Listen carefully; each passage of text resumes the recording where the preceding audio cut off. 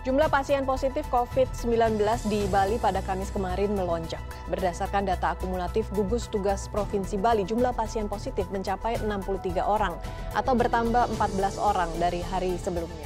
Tambahan kasus positif COVID-19 sebanyak 14 orang.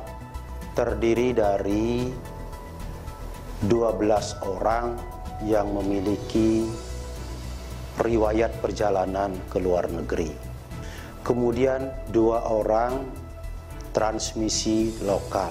Sehingga dengan demikian jumlah kasus positif COVID-19 di Bali sampai sore ini menjadi 63 Sejak merebaknya virus corona, kondisi pariwisata Bali mengalami penurunan.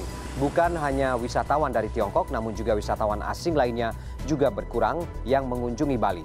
Kondisi ini mengakibatkan adanya wacana merumahkan atau mengurangi jam kerja bagi karyawan di sektor pariwisata. Kan gejala sesaat. Nah, jangan jangan, jangan karena ada masalah begini tiba-tiba hotel langsung PHK. Ya, jangan dulu. Ya, Artinya ada laporan Pak yang mau merencanakan PHK? ada. Ada. Ada Banyak, Pak? keinginan. Ada keinginan berapa, Berapa Pak? banyak, Pak? Berapa banyak? Pak? Jumlahnya banyak.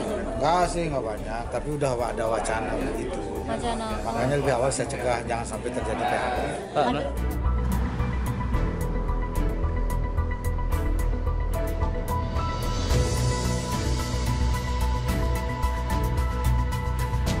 Gubernur Bali menyatakan hingga saat ini tingkat kesembuhan pasien corona di Bali mencapai hampir 65 persen.